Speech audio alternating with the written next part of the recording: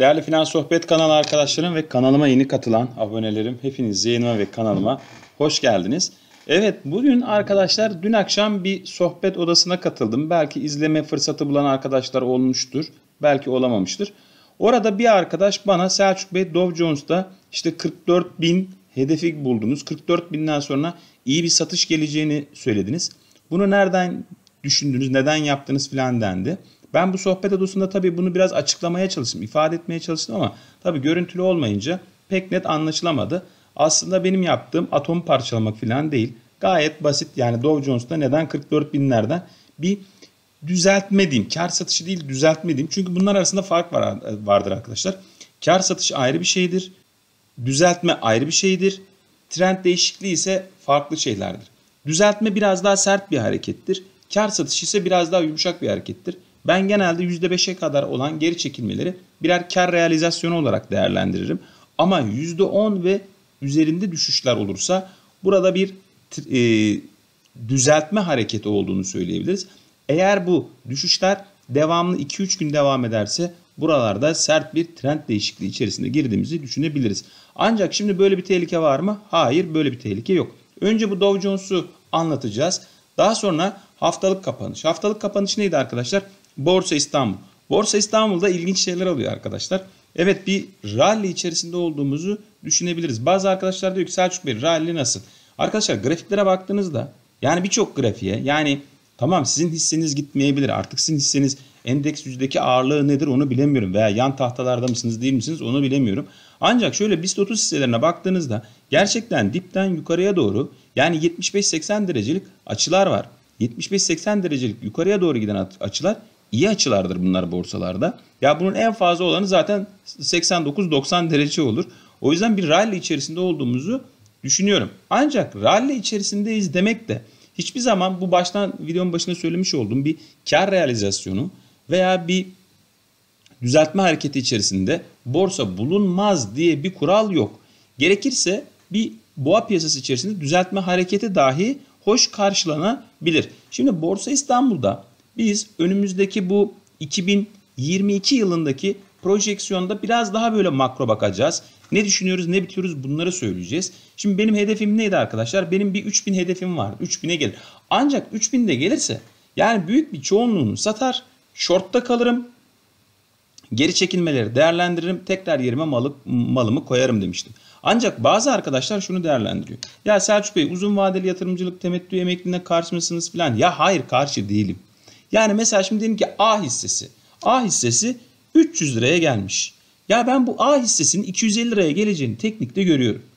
Ben bu A hissesini 300 lirada satmayla 250'ye gelince almayacağım diye bir kural yok ki. Ha bazı insanlar bunu beceremeyebilirler. Ben burada bunu ifade etmek istiyorum.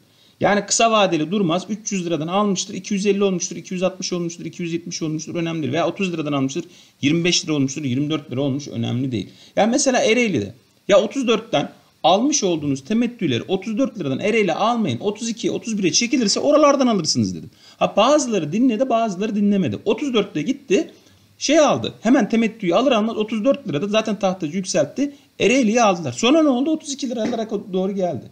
E, arkadaş tamam ondan sonra yine al Ereğli. Yani 34 alana kadar niye 32'de almışsın? Bu da aynen onun gibi. Yani önemli olan lot sayımızı arttırmak. Ha bunun için bazılarımızın stratejisi oturup beklemek olur. Bazılarının stratejisi de daha böyle orta vadede trade etme stratejisi olabilir. Bunların hiçbiri yanlış değil. Tabii ki burada 75 bin 80 bin kişiye seslendiğimiz zaman herkesin risk algısını ve davranış modelini belirlemek kolay bir şey değil.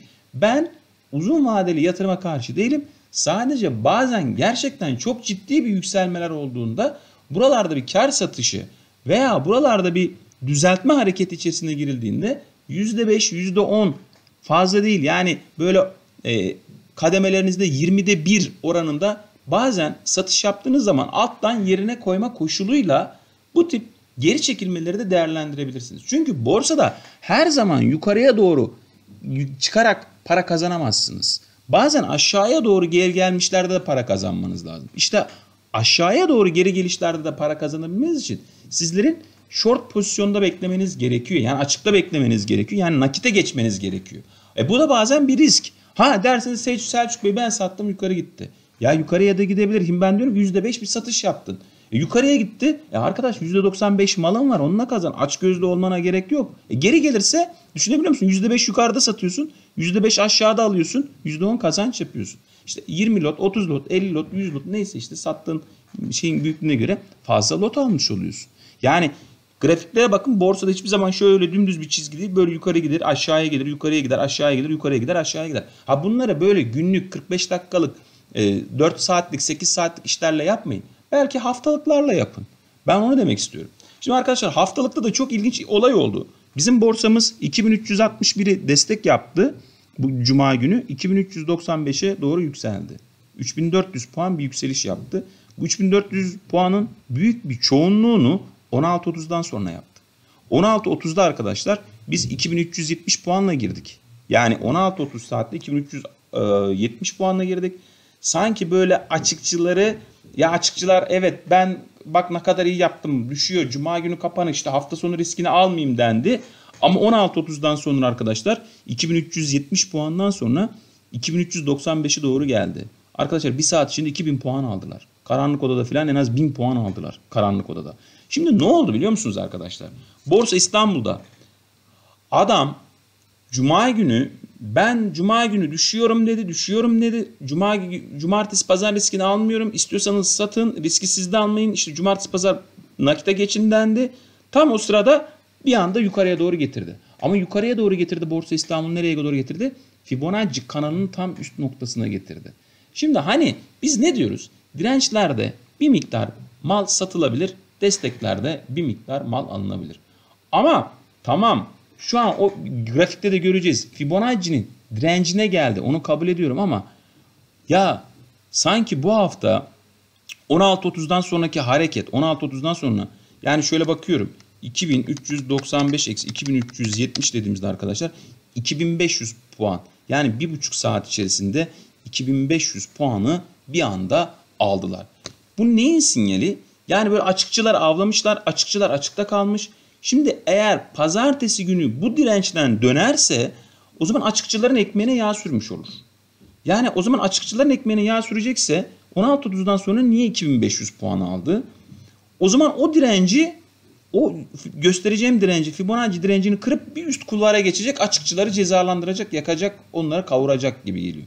Şimdi böyle bir beyin fırtınası içerisinde bir grafiklerimizi görelim. Ondan sonra videomuzu dönelim ve sonuca bağlayıp kapatalım arkadaşlar. Değerli arkadaşlar bakın bu benim Dow Jones. Dow Jones'ta o akşam dendi ki bana Selçuk Bey neden 4400 puanda siz Amerikan borsalarında bir düzeltme hareketi bekliyorsunuz. Şimdi arkadaşlar bakın şurası yani bu allimi cihan olmaya gerek yok. Atomu falan parçalamıyorum. Şu Mart 2020. Covid. Covid de burada Dow Jones bir dibe vurdu. Dibe vurdu. Covid de dibe vurduktan sonra Dow Jones geldi geldi geldi geldi yükseldi. Şurada bir dirençle karşılaştı. Bakın şu nokta tam bir direnç. Bu noktada geldi. Tekrar geldi geldi geldi geldi. Bakın şu noktaya geldi ama değmedi. Çok yakın kaldı. Tekrar aşağıya geldi. Yataya sardı. Aşağıya geldi. Bakın bu noktaya değmedi. Yukarıya geldi. Aşağıya geldi. Yukarıya geldi. Bakın gene buraya değmedi. Ve şurada gene bu noktadan değdi bakın. iki nokta. Şu iki noktayı alıyorum. Bu nokta ve bu nokta. Ama bu noktaların hiçbirine değmeden altta gelmiş. Ve bu noktaya değdikten sonra arkadaşlar bakın ne zaman? Mayıs 2021'den sonra e, Dow Jones yataya sarmış. Bakın yatayda gitmiş Mayıs'tan beri. Tak bak yataylarda ta buralara kadar gelmiş. İşte ben de diyorum ki Dow Jones'u şuradan yukarıdan bir sırt çizdiğimiz zaman şu iki yüksek noktayı çizdiğimiz zaman tamam Amerikan endeksi bir rally'e girse şu tabii ilk başta bakacağımız o, o 37 bin 36 bin 934'ü kesip kesmediği ha burayı keserse burayı kestikten sonra şu şekilde şöyle Mayıs ayının sonlarına Haziran ayının başlarına doğru şu şekilde şuralara doğru gelebilir. Şimdi bakın buralara doğru geldiğinde bakın sağ tarafta nereye geldik? 44.051. İşte 14 Haziran 2021. 44.051'e geldiğinde Dow Jones 44.000'lere. Şimdi bakın şurası birinci nokta. Şurası ikinci nokta. Şurası da şöyle. Şu 44.000 şurayı da şuralardan olur üçüncü nokta. İşte şu üçüncü noktalara kadar şuradan şöyle diyeyim. Şuraya kadar şöyle ha şuradan buraya kadar bir gelebilir. Ne olur bu da Haziran'ın sonlarına doğru olabilir. İşte buralardan sonra işte buradan bir düzeltme hareketi gelebilir arkadaşlar. Bunlara beyin fırtınası arkadaşlar. Şöyle bir düzeltme gelebilir. Düzeltme geldikten sonra hatta hatta şuralara kadar da bir ge- geliş olabilir yani 37 bin lira doğru tekrar gelebilir. Ondan sonra tekrar buralardan şu şekilde bir tepki verme ihtimali olabilir. Yani şu hareketler işte şunu şu şekilde belki bu kadar sert gelmeyebilir. Şuralara kadar filan da düzeltebiliriz. Benim demiş olduğum Dow Jones'ta 44 bin civarında dikkatli olduğumuzda bunu tabi o zaman ölmez sağ kalırsak yine Dow Jones grafiğini inceleriz. Yani burada bir kar satışından ziyade şu şekilde bir düzeltme hareketi olabilir. Şimdi bunların çoğu mesela yükselmiş gelmiş yükselmiş. Bunların çoğu kar satış. Bakın şuraya geliyor kar satışını alıyor adam düşürüyor. Buraya geliyor kar satışını alıyor. Buraya geliyor kar satışını alıyor. Buraya geliyor kar satışını alıyor. Bakın şurada bir düzeltme yapıyor. Bakın üst noktaya geliyor. Burada ciddi bir düzeltme yapıyor. Altta destekten tekrar yukarıya doğru geliyor. Benim Amerikan borsalarındaki demiş olduğum senaryo budur. Bazen shortta kalmayı da bilmek lazım kademeli olarak. Şimdi Borsa İstanbul'a gelelim arkadaşlar. Şimdi Borsa İstanbul'da arkadaşlar bakın dün 8 Nisan'da evet şimdi 8 Nisan'da şurada biz seansı güçlü bir şekilde açtık. Açtık daha sonra yataya sardık sardık sardık sardık yatayda devam ettik. Şuraya kadar geldik. Yani saat 16.30. 16.30'da nereye geldik arkadaşlar? 2373 puanı. İşte şu son iki barem güçlü bir şekilde yaktı. Nereye geldik arkadaşlar? Bakın 2406. 2406'ya doğru geldik. İşte şu iki tane güçlü yakmak benim kafamı biraz ka- karıştırdı güçlü bir şekilde. Peki şimdi nereye geliyoruz arkadaşlar? Bakın. Şimdi burada bir dirençle karşılaşacak. Yani 2406 puan. Yani bunu aşabilir miyiz, aşamaz mıyız? Şöyle günlüğe gelelim. Günlükte daha iyi görebiliriz. Bu arada kamalarda da görüyorsunuz 2 saatlikte de 4 saatlikte de günlükte de kamanın yukarıya doğru borsayı bir taziki var. 22 günlük hareketli ortalamanın yukarıya doğru bir baskısı var. Şimdi bu şu aşağıdan gelen trend bizim e, Mart 2021'den beri gelen e, Covid desteği trendi. Şimdi buralarda eğer Borsa İstanbul bir şekilde dirençle karşılaşırsa bu hafta bu hafta içerisinde bir kar realizasyonu olabilir. Nereye kadar olabilir kar realizasyonu? Bakın şurada Kama'nın zaten puanı şurada belli. Şu mıknatısı kapatayım. Şuraya kadar gelebilir. 2329'lara doğru. Şimdi şuradan şöyle bir geri çekiliş olursa arkadaşlar 2329 bu bir kar satışıdır. Burada bir paniklemenin anlamı yok. Yani günlükte kamanın üstünde kaldığımızda bu kar karını alır ama günlükte bu noktalarda kalırsak buradan yeniden 2406'yı yoklama ihtimali var. 2406'yı kırarsak arkadaşlar kırabilirsek bakın hedef ne görünüyor? 2828 görünüyor. Bu mikro yani Borsa İstanbul'un mikro analiziydi. Şimdi şöyle biraz daha şöyle makro baktığımızda arkadaşlar olaya biraz daha şöyle bir geniş bakalım. Şu bunların hepsinin birer beyin fırtınası olduğunu unutmayın. Lütfen kendi aklınızla, kararınızla, fikrinizle karar veriniz. Şimdi şurada biraz daha makro baktığımızda Borsa İstanbul'a. Şimdi şöyle bir şimdi burada tabii şimdi bu aralıkta sert bir düşüş oldu. Şu şekilde bir çanak yaptık. Bakın şuradan alın. Bakın şöyle bir elips getirin. Şu dibe doğru geldik. Yani ne yaptık? Şuradan itibaren 20 Aralık'tan şöyle bir Şubat ayı vadesine kadar bir çanak. Çanağın diğer tarafı nedir? Şurada şurada zaten çanağın dibini bulduk biz. 24 Şubat 2022 yani neyle? Bu Rusya-Ukrayna savaşıyla, burada Rusya-Ukrayna savaşı ve çanağın dibini yerleştik. Daha sonra çanağın dibinden sonra yukarıya doğru geldik. Şimdi 2406 işte nedir? Şuranın tepesi.